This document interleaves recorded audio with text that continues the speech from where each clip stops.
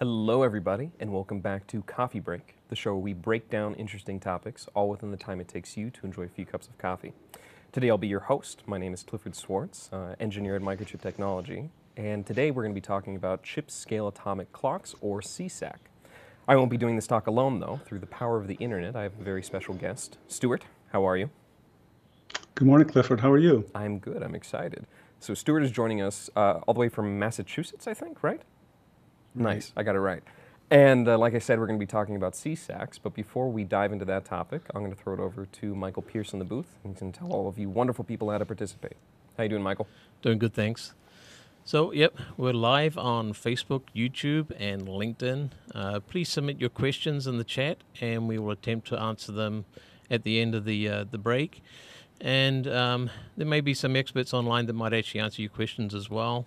Uh, also, please like and share this this uh, this video, um, this live stream.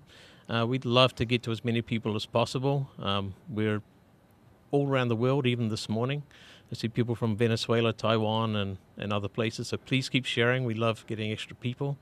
Um, also, if we can't get to your question at the end, uh, please email us at livestream at microchip.com and we'll make sure it gets through to the right people. So back to you, Clifford. Cool. Thank you very much. Uh, so, Stuart, before we can talk about chip scale atomic clocks, do you mind giving us a background about what an atomic clock is?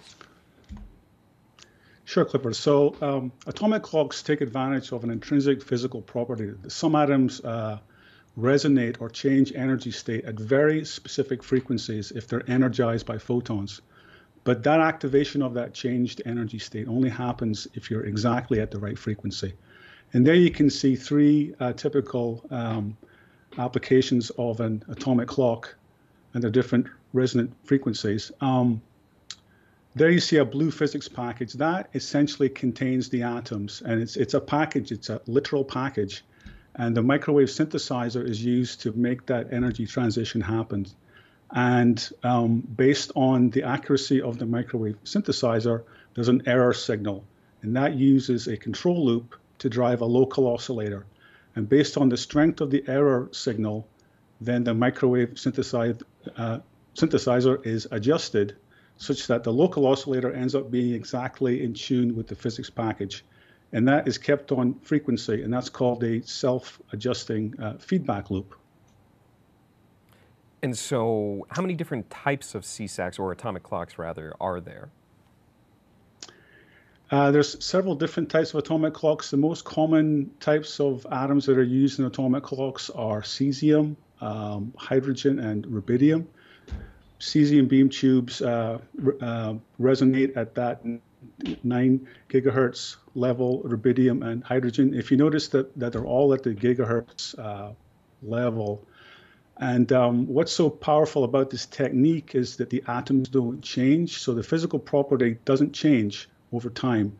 Cesium is used ubiquitously in things like telecom, um, government, and defense. It's typically a 3U rack mounted system and it's used all over the world. Hydrogen is usually a larger atomic clock, it can be the size of a small fridge. It's used for hard science and for metrology. Rubidium is the workhorse of hmm. atomic clocks. It gets used in things like um, cellular base stations and test sets and um, so very ubiquitous um, in the market. So, of those three, it sounds like cesium is the best for smaller applications, and so does that mean that it's more often found in uh, CSACs, or no? Yeah, I've got a picture of a CSAC there. That's an atomic clock that uses uh, uh, the cesium atom as its as its baseline, and uh, so that's not a rack-mounted unit. That's a very special atomic clock. Cool. And sort of springboarding off of that, do you mind talking a little bit about what makes CSAC so special? Oh, sure. So um, um, CSAC's able to take all of the atomic uh, physics and engineering I talked about and really shrink it down uh, to a very small package using uh, sophisticated, uh, sophisticated manufacturing techniques down to a 16 cubic centimeter size oscillator. I've actually got one here, Clifford. Let me show you real quick. If you look at the layout of a CSAC, you see how small it is. Yeah. It's got a physics package, which is the heart of the atomic clock. This is where the cesium is. You've got a microcontroller. This is the brains of the atomic clock. And you've got a microwave uh, system here. This is the one that energizes and makes that energy state change happen. And then you've got a TCXO. This is the voice of the CSAC. This is the output usable frequency. And this is locked to the atomic resonance here, which gives you that very, very high accuracy.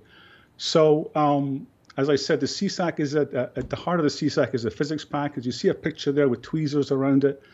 That contains a very small amount of cesium inside a vacuum packaged MEMS designed ceramic package. Inside again a metal box made of mu metal to isolate it from uh, magnetic fields. So the physics package is completely isolated from the outside world, and that makes it very stable and very um, resilient to any kind of environmental effects. Um, it's not brand new technology. Uh, this was co-founded over 10 years, uh, co-funded over 10 years ago by DARPA, and but we were able to successfully commercialize it uh, 10 years ago and uh, the real claim to fame of this design is its low power. That 120 milliwatt power, Clifford, is one tenth of what you would expect to have to use on a typical oven controlled crystal oscillator. And that's what people want. They want the ultra low power as well as the atomic accuracy. Uh, it's also got the one pulse per second steering, which allows you to discipline this oscillator from something like a GPS uh, receiver. And um, it's also because it's got a great MEMS design. It's very rugged and it's very um, resilient to vibration and shock, uh, making this a very versatile product. And um, it's not simple to make. It's it's not a trivial exercise to put a CSAC together. Right. But we've had 10 years to work on the the process, and through continual improvement, we've now scaled up and we ship many thousands of years uh, of these every year. So the technology is pretty cool, and all the stats that you just talked about are kind of revolutionary if you think about them. What sort of applications and industries do we see CSACs being used in today? Yeah, so um, the first application that was that was envisioned for CSAC was assured position navigation and timing. So initially, when DARPA was involved, the vision was to have a super low powered atomic oscillator that could be used in military systems when GPS was unavailable, denied, spoofed, or jammed. And so you'll see now, if you look up the acronym Assured PNT, that's, that's a very well known term, uh, and you'll often see the CSAC associated as a high performance oscillator to give you that local time on a vehicle or on a soldier's backpack or on a plane or on a drone when you need to have that local clock in order to navigate and complete the mission. Another uh, defense application is VSAT, which is very small aperture receiver. And that what that lets you do is to have a field deployed man portable broadband encrypted communications, again, without GPS in hostile environments and be able to turn on that system and do secure encrypted communications with a very accurate oscillator. In this case, it gets multiplied up to gigahertz in order to make that communications happen. So very important that it that it is small, portable, and low power because it's all battery. Another defense one is a uh, AUV and um, autonomous underwater vehicle. Just imagine a um, um, deployment underwater for weeks of a small sub unmanned. It's collecting data, it's navigating, it's doing intelligence gathering, all on batteries, but it needs a clock with it that doesn't have GPS access. And the, and the CSAC gives them that local atomic clock that they need. Uh, on the right, we have something which I think is really interesting, which is ocean bottom seismic. This is where you can actually do oil and gas exploration uh, with less exploratory exploratory drilling. What you do is you do um, uh, you put a bunch of um, sensors, up to thousands of sensors, each of them with a CSAC on the ocean bottom floor, and you put a shock wave into the bedrock, and you wait for the signal to come back the CSAC helps you precisely put a timestamp on all that data, which helps you create a 3D model of the oil and gas reserves without having to do a bunch of exploratory drilling. Uh, and, I think that's really important. And then recently in space, CSAC has been used for really fascinating applications by NASA to do optical time transfer between CubeSats instead of having to rely on a ground station. And that's really laying the path for doing navigation beyond the moon to, to Mars and, and, and to other planets. And then one other one, which is key, which is remote sensing. So this is basically the satellites in space staring at human activity, taking pictures, reading RF signals.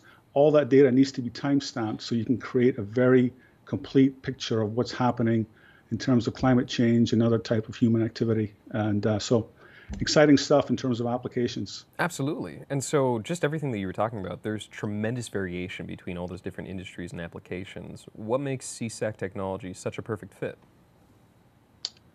Yeah, right. So the CSAC is on the ocean bottom it's on the battlefield uh, and it's in space. Uh, but all those applications kind of have a few things in common that, that we have to bear in mind.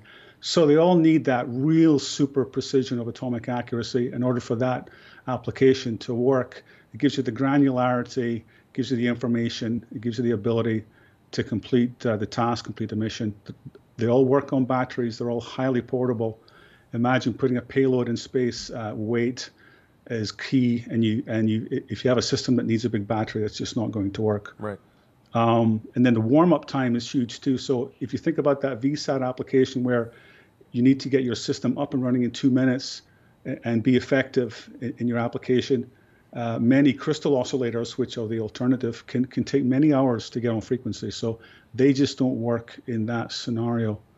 And uh, another great example is that time drift over a day so two microseconds per day uh, is, is what lots of these applications need. Uh, to visualize that, uh, this is a back of, back of the envelope calculation. Um, that's equivalent to if you were going to take a tape measure and measure between uh, Tokyo and London wow. Uh, to get get the measurement within uh, two tenths of a millimeter right. right. So that's what the CSAC gives you if you were trying to do a, a you know measure a distance with equivalent accuracy. And then, of course, the convenience. Uh, and one one big thing is many of those apps go from hot to cold to hot, and the oscillator has to stay on frequency during those temperature changes. And an atomic clock, in the shape of a CSAC, gives you that control to minimize the frequency change over those wide temperature swings. And there's a few others there that we may not have time to get into, but the bottom line is uh, you can you can board mount this and you've got the rugged packaging which makes it very versatile. It doesn't have to be plugged into a wall. It doesn't need, uh, have to be on a desktop. It's designed to do interesting and exciting things in different and exciting places. It absolutely is pretty exciting. So stuart how do you recommend engineers get started designing with csac Sure. Uh, well, we wanted to make it as easy as possible. Uh, I know the technology sounds, uh, you know, interesting and challenging, but it is it is a CSAC, it is a modular device, and we have made available what we call a uh, developer's kit. You see a picture there of a PCBA that we designed that you can put on your desktop. You plug it into the wall. It's got all the inputs and outputs are right there that you need to to give the commands to the CSAC and get the telemetry off it, and then to test your design. Uh, we also have some software that you can put on your PC and you can uh, do some uh, interaction, and, and, it's got a nice GUI on it, and it's and it's freely downloadable. And there's also a very good user guide that teaches you everything that you wanted to know about getting started with CSAC. Cool. And um, so it's a good kit. And so if people want to learn more right now, they could go on the web, and it looks like we can send them to microchip.com forward slash uh, CSAC. Yeah, that's the place to go to check it out for sure. Cool. Well, thank you very much, Stuart. I believe that brings us to the end of the uh, presentation portion. Is there anything else you want to add? No, I'm just happy to be here. Thanks for having me on. And um, again, this is a great program. So let's see if we have any great questions. Yeah. Pierce, what do we got? So they're actually starting to roll in. Uh, so we have the first one from Zachary. Um, how does a CSAC compare to a crystal oscillator? Okay, Zachary, thank you for that question. Great question. So essentially, a CSAC is, is, is a high performance oscillator uh, with an atomic heartbeat, as I mentioned earlier. Uh, it's typically um, has a higher performance uh, in terms of being able to drift less over a day. Remember that comparison of two microseconds per day of drift. Uh, a typical crystal oscillator will drift a lot more. Now they're less expensive, but they but they have much less performance. So there is that trade-off of, of performance versus cost. And then uh, also a, um, a, a crystal oscillator will use a lot more power. Uh, up to 10 times more power. So if you have a really budget uh, tight budget on power, or if you're battery powered, then then you very much want to look at an atomic uh, clock like a CSAC versus an oven controlled crystal oscillator. Yeah, and we have one from uh, Roberto Iglesias. Uh, can a set of, say, three or more CSACs be synchronized to a master unit, uh, for example, for a network connected servers?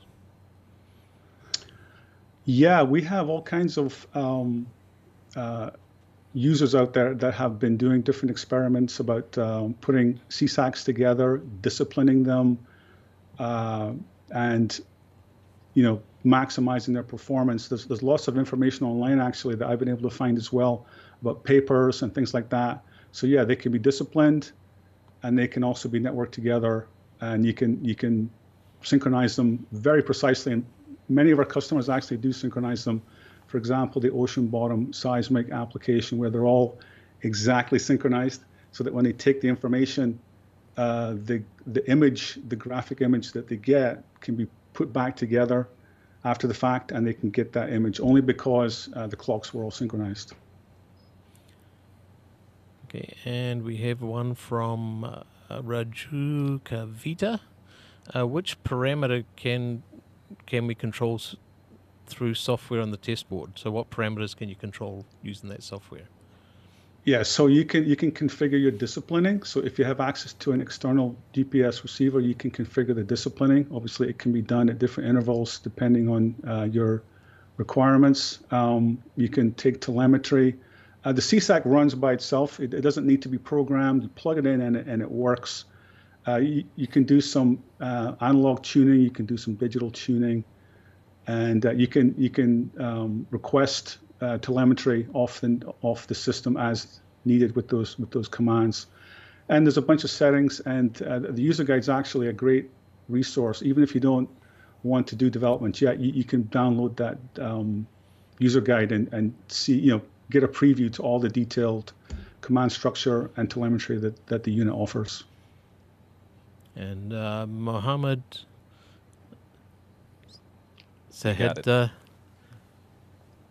Ebden, I'm sorry if I messed that up. Um, he, he wants to know if we can use CSAC and LoRaWAN technology um, where they face a lot of clock drift.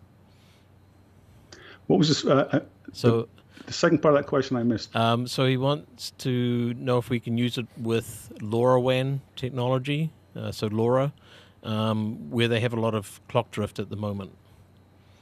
So, and how, how they could possibly use it there. Well, I think I, that probably warrants a conversation. I'd, I'd, love to have a chat on that to figure out how we can help. Certainly, certainly, drift is always something that's uh, an issue with with clocks or, or any oscillators. And uh, if you don't have a, an embedded atomic solution, if you're doing something else today that perhaps is lower performance, uh, we would definitely look to look to see what that is, and then see if we can make an improvement with uh, with the CSAC. And uh, one from Christopher Newell. Um, what makes a CSAC different from a 5071A3U system since they both run on cesium? What a great question. That's a really good question. So the fi- yes, so the 5071 is a microchip product that is used all over the world, and it's a cesium um, reference standard used to actually set time. It's a it's a gas cell about this big instead of big enclosure. Has a lot of sophisticated electronics, and it's meant to be. Uh, it's it's got a high performance um, application. Uses plenty of power. You, you, plug it into the wall, and that uses uh, lots of cesium in order to get a very clean, uh, low drift, zero drift atomic clock. The CSAC uses the same cesium technology, a lot less cesium, very tiny amount, and uh, intrinsically it'll never be as accurate because there's always a trade-off between the size of an atomic clock and the and the volume of cesium. So we do uh, the similar approach with a tiny amount of cesium, uh, but, but with a different performance level and obviously a much lower power requirement. Okay, one from Richard Halo. Um, are the modules ITAR regulated? They are. They are not. So there, there's, uh, of course, they're regulated, but they're not export controlled. They're EAR 99 uh, in the vernacular. So they're, we export these all over the world to, you know, many many places. So they're not uh, restricted by uh, ITAR. And one from Steve Kamenensky.